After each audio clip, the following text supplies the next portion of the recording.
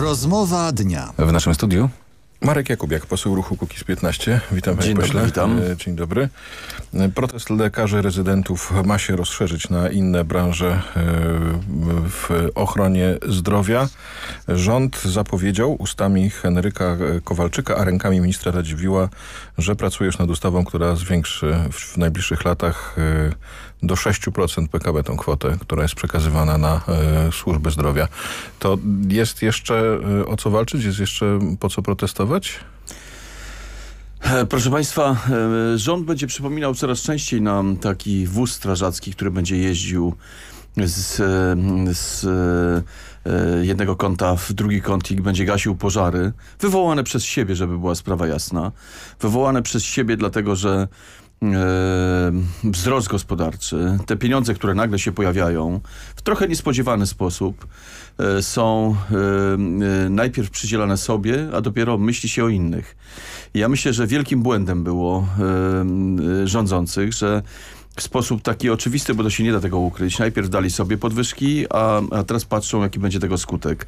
E, I myślę, że IPN jest bardzo ważny, ale nie najważniejszy, bowiem e, panowie prokuratorzy z IPN-u też się muszą leczyć, więc trzeba zacząć przede wszystkim oszczędności od siebie, a potem e, reformować państwo, a tymczasem nie tylko rezydenci, ale i policjanci, i wojskowi, i nauczyciele. Ja nie znam grupy społecznej, która by była zadowolona z własnych uposażeń i z dofinansowania Ale policjanci mają na, na przyszły rok w budżecie zagwarantowane pieniądze na podwyżki. Z tego co pamiętam, e, komendant Główny Straży Pożarnej, kiedy był naszym gościem jakiś czas temu też, e, też o tym mówił, a podwyżki dla e, części instytucji, o których pan wspomniał, no to jednak nie jest ani 30 miliardów, ani 40, ani 80 miliardów w skrajnej, w, w skrajnej wersji liczenia. Tutaj w zależności od tego, przy jakim procencie PKB na służbę zdrowia, ile pieniędzy trzeba byłoby wydać, więc ja rozumiem potrzebę oszczędzania, ale jednak mówimy o gigantycznych pieniądzach i to jest... e,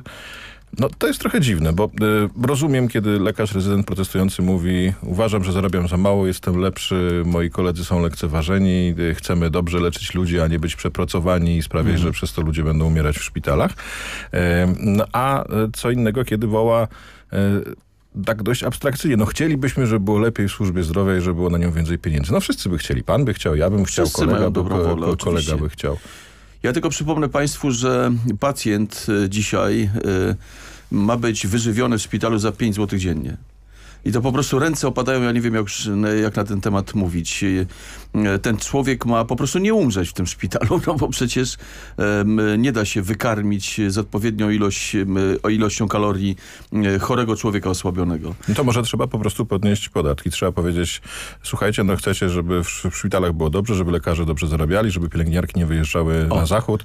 No to podnieśmy dwukrotnie y, na przykład składkę zdrowotną, idziemy- ktoś może powiedzieć. Idziemy właśnie do tego punktu, do którego dojdziemy za dwa lata, czyli e, zamiast e, zacząć od reformy gospodarki e, i opierać się o zwiększone przychody i racjonalność podatkową, zaczynamy dzielić coś, czego jeszcze nie ma, a dopiero ma być. Więc proszę Państwa, już są podnoszone podatki, e, już są zapowiedzi, e, e, dlatego się nie reformuje gospodarki. Tych, ta konstytucja dla Które, które podatki są, dla- są podnoszone? O, na przykład katastralny podatek ma być wprowadzony od, od wielkopowierzchniowych.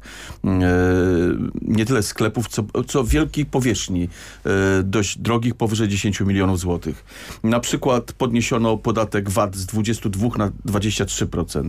Ale to jeszcze poprzednia pan- władza Nie, nie, nie, nie, nie, panie redaktorze, spokojnie. To był okresowy podatek, a teraz Prawo i Sprawiedliwość podniosło go do 23, ponieważ on z automatu tamtej ustawy wygasała ta podwyżka i został podniesiony do 23. Tak więc mamy tą podwyżkę.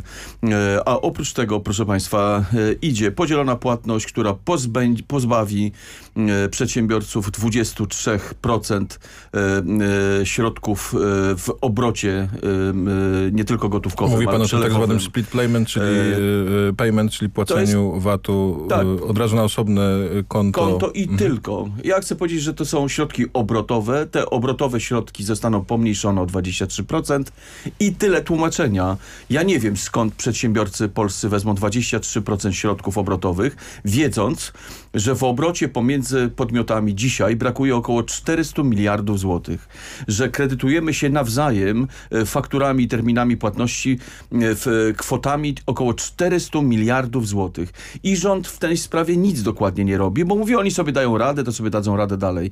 My ledwo prządziemy, wszyscy jak jeden. E, e, I te e, mówienie pan, o tym, że jest tak przedsiębiorcy, o cudownie, tym- o tym mi po mówi. prostu ręce opadają. Dlatego, że ja widzę wyraźnie, co się dzieje. Spadają przychody, spada rentowność, e, nie ma kogo zatrudniać i tak naprawdę ja nie wiem, skąd się ten taki, e, taki gigantyczne parcie na mówienie, że jest dobrze. E, no, ja żyłem jeszcze za czasów Gierka, śmiałem się z tamtych czasów, ale to, co się teraz dzieje, to po prostu e, e, no, już nie będę komentował tego za mocno. Losowanie spraw w sądach. Pilotażowy program wprowadzony został wczoraj w trzech miejscach w Polsce. Od stycznia ma obowiązywać w całym kraju. To jest dobry pomysł? Podoba się posłom Kukiz 15? Dobre i niedobre, ale to nic nie zmienia. No jak kolejki były, tak kolejki będą, tak przewlekłość procesów będzie trwała.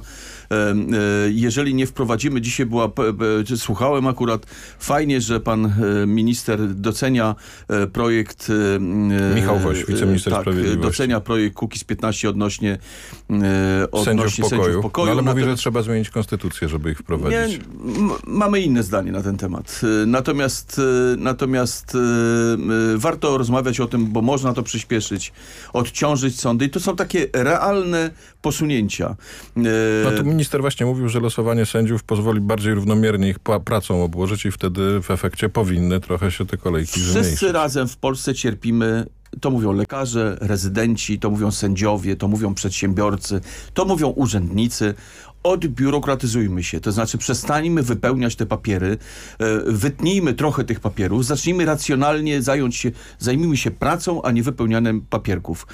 E, I Kukiz 15 od dwóch i pół roku nie może dotrzeć do świadomości rządzących, że jeżeli chodzi o działalność gospodarczą, to proc- jednoprocentowy przychodowy podatek załatwia wszystkie nasze problemy, przynajmniej 70% tychże problemów. Jest zapłacone, jest przychód wynikający z faktury, płacimy 1% przychodowy i 23% podatku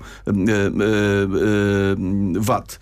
E, e, I tyle. Na dzień dzisiejszy CIT jest podatkiem do wyrzucenia, dlatego że on zbyt komplikuje życie wszystkim. Co na te pomysły podatku obrodowego mówi Prawo i Sprawiedliwość? Ktoś Prawo i podejmuje Sprawiedliwość dialog na ten temat? dziwnym trafem stara się nie zauważyć, że już wprowadziło ten podatek.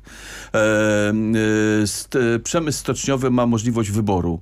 E, albo CIT, albo 1% przycho- e, podatku przychodowego. Jeżeli przemysł stoczniowy może, to dlaczego inne przemysły, takie jak spożywczy, nie mogą tego robić? Dlaczego to jest tak, że e, staramy się nie zauważać, że osoby prowadzące działalność gospodarczą ten podatek już płacą jako zryczałtowany podatek dochodowy, bo taką się też może nazywać i e, e, na 100 kontroli 99 nie widzi problemu, czyli inaczej mówiąc e, idealna forma działalności gospodarczej. Podkreśla pan to, gdzie Kukiz 15 różni się od Prawa i Sprawiedliwości, ale wydaje się, że dla części wyborców to nie jest takie oczywiste.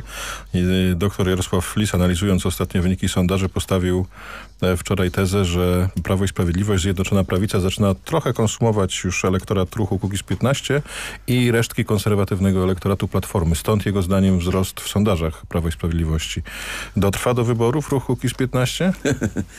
No, e, a jakie są pańskie marzenia? Ja nie mam e, w tej No bo to taka ludożercza marzeń, retoryka. tylko zadaję pytanie po prostu. Jestem ciekawy, co pan o tym E, sądzi. Ludożercza retoryka polegająca na tym, że ktoś kogoś zje. Natomiast proszę państwa, no, Kukiz 15 e, jest e, ugrupowaniem politycznym, które jest najbardziej stabilne, jest zrównoważone.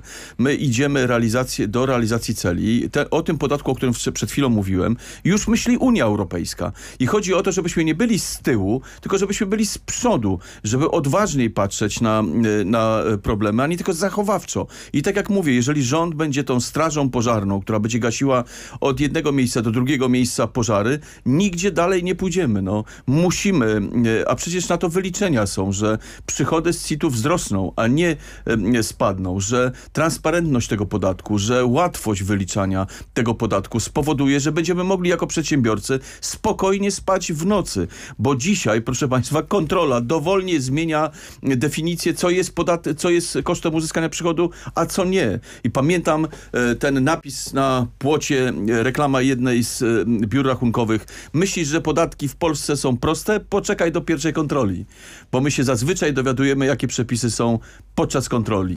Mówił Marek Jakubiak, poseł ruchu Kukiz 15 i gość sygnałów dnia w radiowej 1. Dziękuję bardzo. Dziękuję bardzo. 26 po 8. Była to rozmowa dnia.